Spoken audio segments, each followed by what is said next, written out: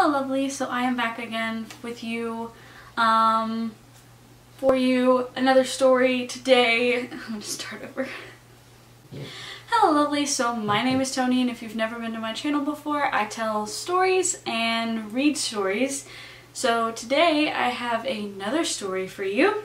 Also, if you hear the dog in the background, you've probably seen it in the other videos. If not, you should go watch all of my other videos. Um, but you've probably seen it in the other videos where I snores and I make fun of it or make note of it or whatever. She's probably going to do that again. She's been snoring pretty loudly all day, so um, it's mostly like allergy season, so she's having trouble breathing a little bit more. Also, you may notice that my face is lit up. I made a ring light. Anyway, um, I went shopping and it reminded me of these stories because I've got a couple of them for you today. I don't know why I just did this, but anyway. So, I'm wearing a hat today. It's kind of uncomfortable. But I am not the best cook in the entire world. And this, or these rather, are the reasons why I'm not a very good cook.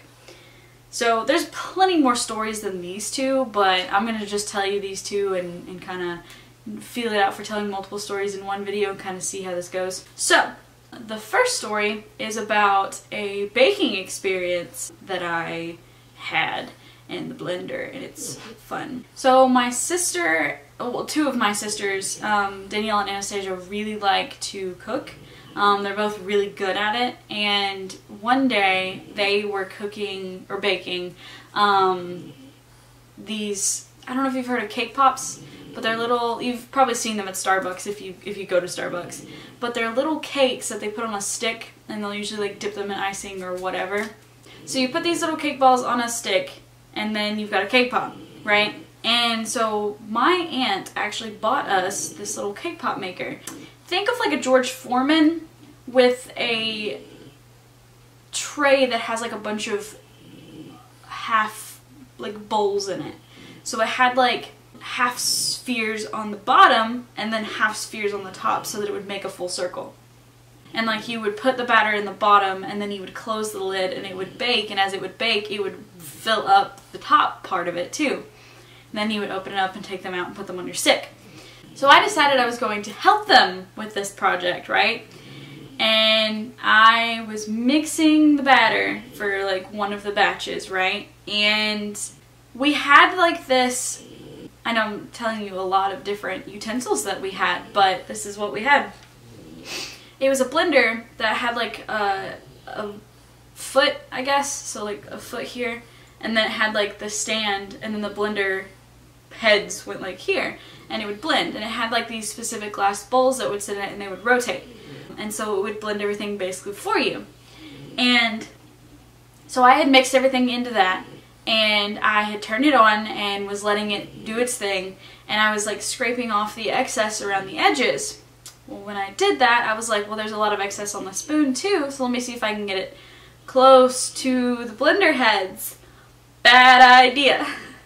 So all of a sudden as I got the spoon close to like the blending heads the blender just like swallowed up the spoon. It just caught it all at once. And I had, I like squealed and I like grabbed the electric, the, the plug and like unplugged it. But I unplugged it and like had it stop and the spoon was wrapped around one of the blender heads. And I was like, oh my god, I ruined it. I'm in so much trouble. But everybody kind of laughed about it, which was good. Um, I think we had to throw the spoon away, but we were able to put the blender heads back like straight, so that was good. And I'll put a picture like right here of what happened because I took pictures of everything and posted on Instagram. It's like why I'm not allowed to bake things. So that was just one experience with baking. I have another experience with cooking and why I'm not allowed to cook things in the kitchen unless I'm given very specific instructions.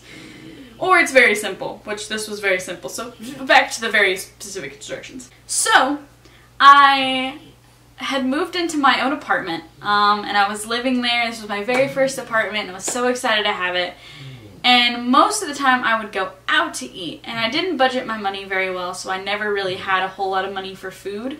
But this one day, I decided that I was going to buy food to keep groceries at the house. And, you know, make, you know, cook my own food. And so I did. I bought chicken breasts and I bought um, breadcrumbs and seasonings and stuff.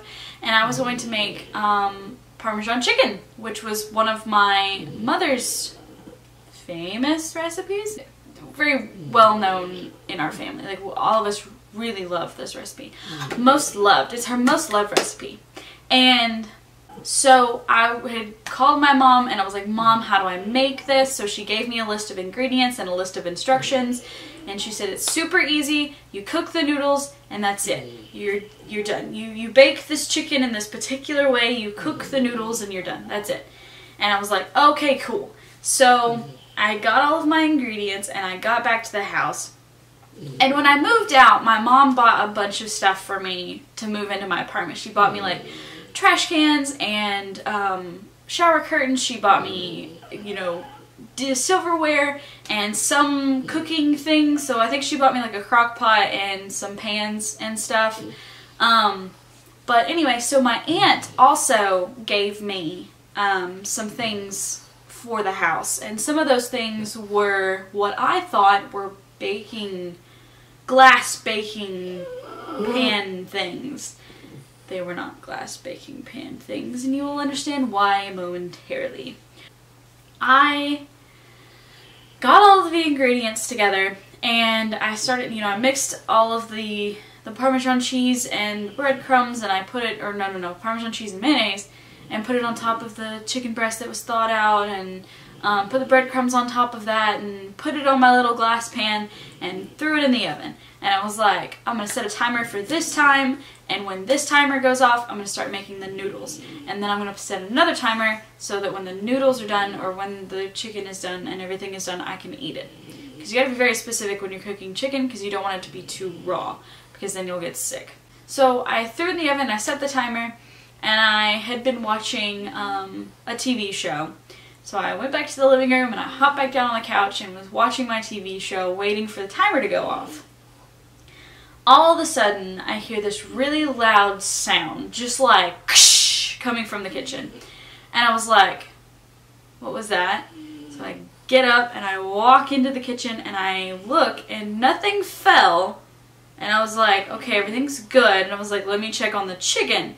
So I open the oven and I look into the oven and sure enough, the pan that I had put the chicken on had shattered and there was pieces of glass everywhere. And the chicken was like so the chicken was kind of still sitting on a few pieces of glass but it was also kind of just resting on the like um what are the wire like bars that hold the pan on in the oven right I, I don't know what they're called I'm sounding really stupid right now but anyway, so I did all of that.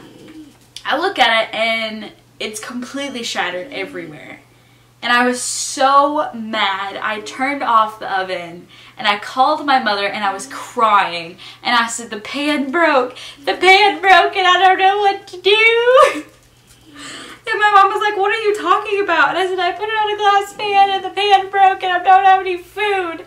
And she was like, it's okay, everything's gonna be fine. She said just make another one and use one of the metal glass pan, or the metal, metal glass, one, use one of the metal pans. And I was like, okay, fine, whatever. Because I was super pissed by this point that I just really didn't want to deal with it. I just wanted food and be done. And that was it.